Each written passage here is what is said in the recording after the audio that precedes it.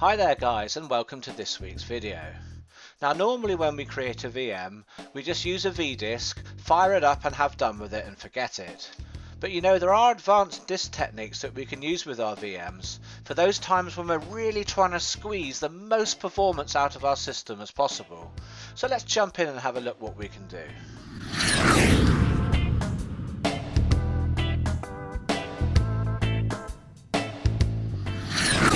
video we're going to look at an alternative to VDisks and we're going to look at using physical hard drives in VMs on Unraid.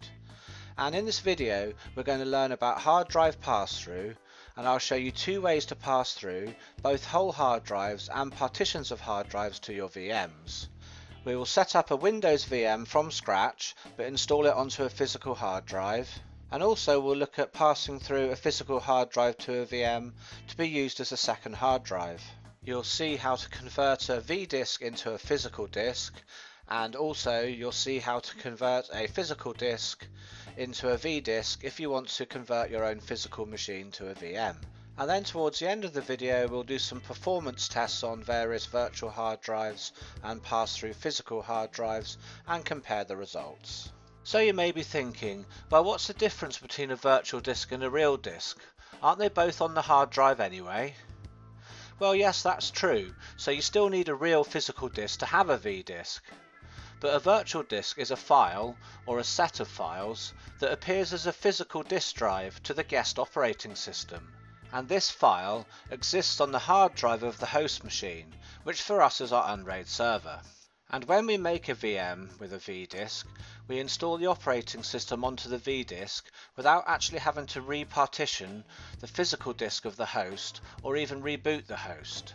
So this is one of the reasons why VMs are so cool. So why would we want to pass through a physical disk then? Okay, so with a VDisk there is a slight amount of overhead. Even though it's very small, it can affect disk performance. So if we're really trying to get everything we can out of a VM, for gaming etc, then it might be worth considering using a fast physical disk passed straight through to the VM. People argue the amount of real world gain you get in the VM is pretty small, and as such they don't like giving up the advantages that you do get with VDisks. So to help you decide if you want to do it on one of your VMs, I'm going to do it on mine and then you can decide if you think it's something you'd like to do. So let's get started. Right, you can see here that I've got two unassigned devices attached to my Unraid server. These two disks are not in my array and they're not used as a cache drive, and they're listed under the unassigned devices tab here. Now at the moment it's very hard to see any real information about these disks at all. So let's click onto apps and we're going to install the unassigned devices plugin. So just do a search for the word unassigned, then install the plugin and after which come back to the main tab. Now here you'll see a lot more options than there was before. You can auto mount the drives on start, you can share the drives as Unraid shares and also you can see the partitions of the drive and this 2 terabyte drive is already partitioned into three partitions because I use this with my VMs already. The first partition here, this is formatted in XFS and I use this to store VDisks for VMs that I don't use very often that I don't want to be on the cache drive. Now this second partition is a large partition of just over a terabyte which is formatted in NTFS and this is where I store all my game installs for my Windows VM. Now I keep the C drive as a VDisk, it's on my SSD cache so it's fast to boot up, but small enough in size to easily back up. Should something go wrong with Windows, I only have to replace the VDisk and not replace the larger pass-through disk containing the games. And this third partition is going to be used in the future for me for passing through to OSX VMs to store data on that. The other unassigned device is a 500 gig hard drive formatted in XFS, which I just put into the server before making this video. Now before we can make any changes to unassigned devices in Unraid, we need to go up to settings and then go to unassigned devices and once here we need to enable destructive mode in order to format and change partitions. And so with destructive mode enabled I can now delete the partition on this drive. Okay, now there's two ways we can pass through a disk in Unraid. We can use the identification, the SD, and then the letter of the device. And these two devices, the first one is SDB and the second one here is SDC.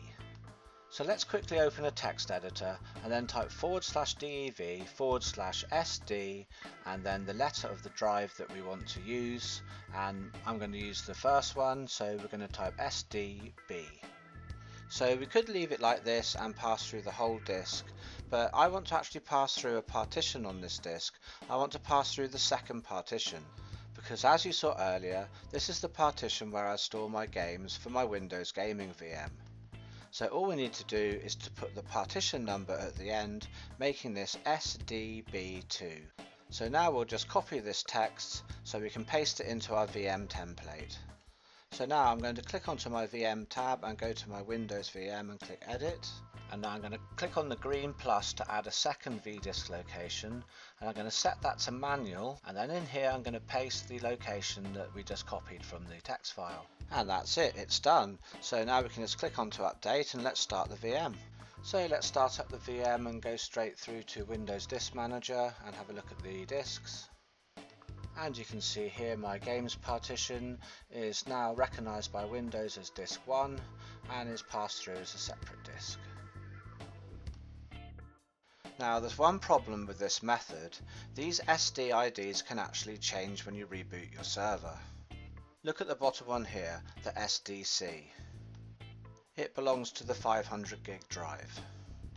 So now let's restart the server and see if it's the same. Well, actually now the 2 terabyte device has taken that name. That one's now the SDC, and the 500 gig drive is now SDK. And because these devices ID have changed, now when we try and start up the VM, we're getting this error saying it can't find the device. So obviously we need a more reliable way and a way that isn't going to change if we reboot the server.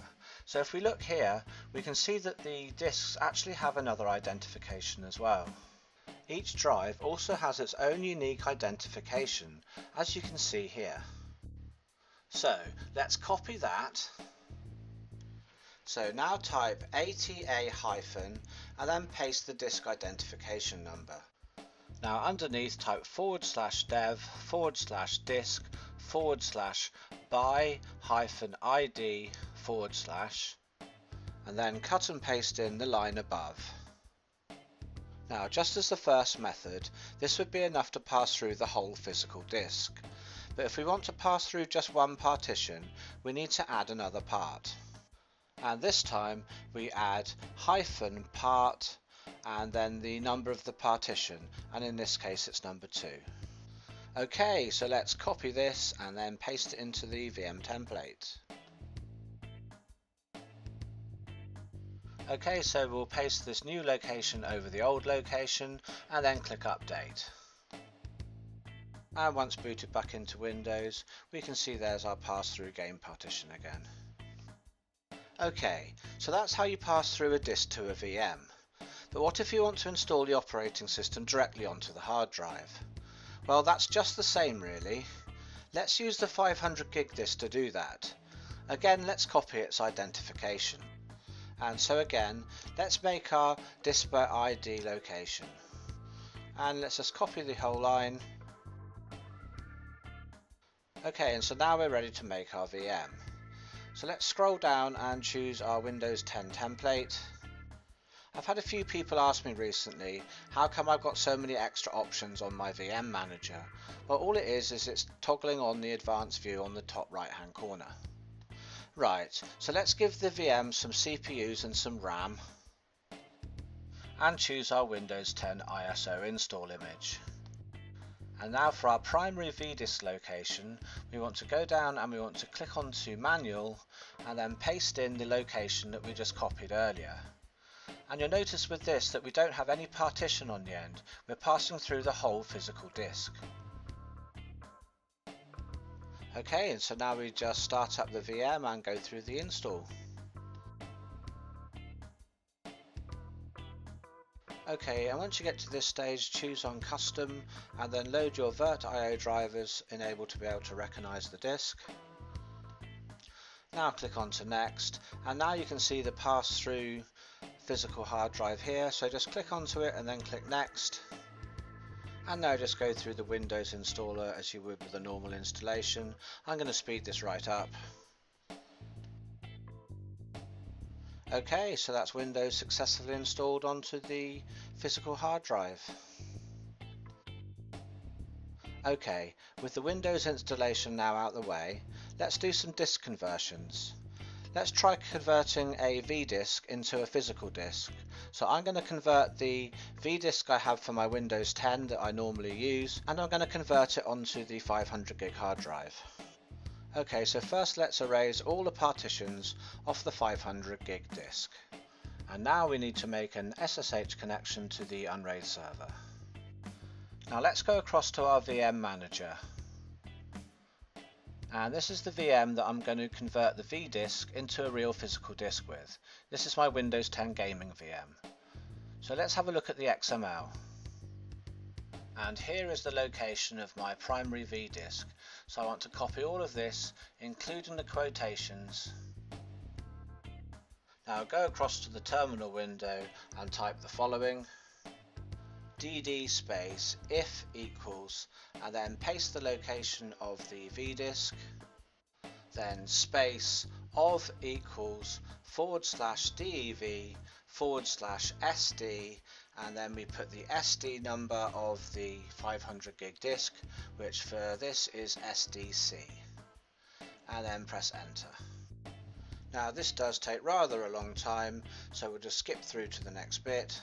So now here you can see the process is finished. So let's just terminate the SSH window. And if we take a quick look at the 500 gig disk we can see it's got multiple partitions here. So now we need to make the primary VDisk location the location of the physical hard drive and then start up the VM. Now let's go to Windows Disk Management and now extend the size of the C drive so it takes up all of the space of the 500 gigs.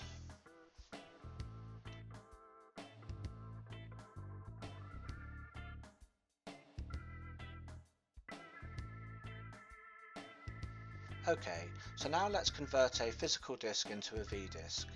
And this can be very useful if you want to convert an existing computer that you already have and run it as a VM. Basically you just connect the hard drive to your server and then follow these steps. So I'm going to convert this here. It's a flash drive and it's only 250 megs. I've chosen this just so it's very quick to copy, but the principle is exactly the same whether you used a hard drive or a flash drive. So the first thing we need to do is to have a place to copy this to. So I'm going to open my VM share, which for me is called Virtual Systems. Probably on your server it might be called Domains. And I'm going to create a folder here and I'm going to call the folder Test. Okay, and now we need to make an SSH connection to the server. And now we need to run the following command.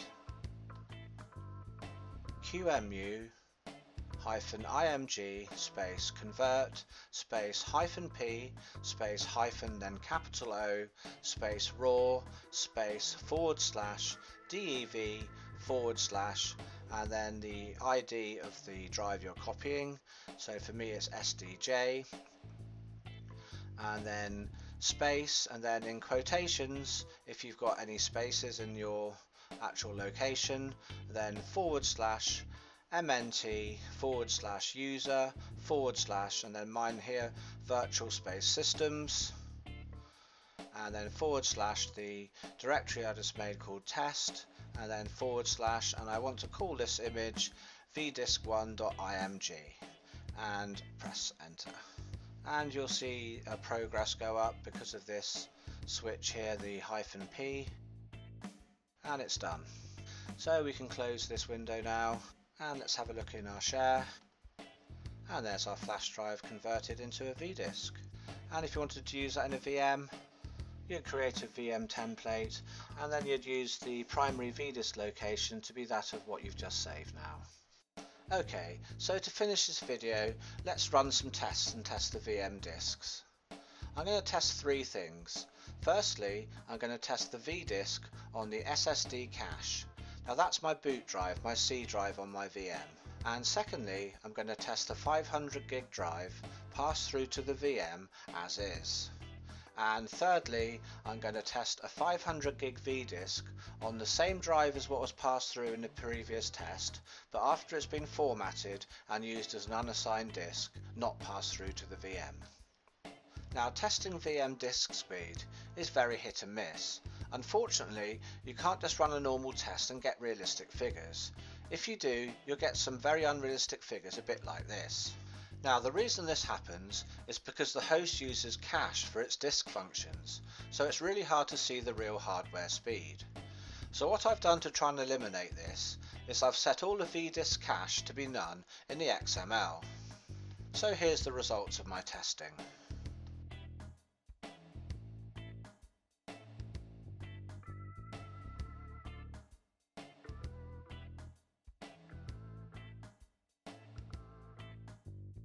So the results are in. Of course the V disk on the SSD was the fastest, but the other two were very very close. Now the pass-through disk just gets a tiny bit better performance, but if I was to run the tests a few times, it may not be that way. To be honest, I expected the pass-through disk to outperform the V-disk on the unassigned drive by a noticeable amount.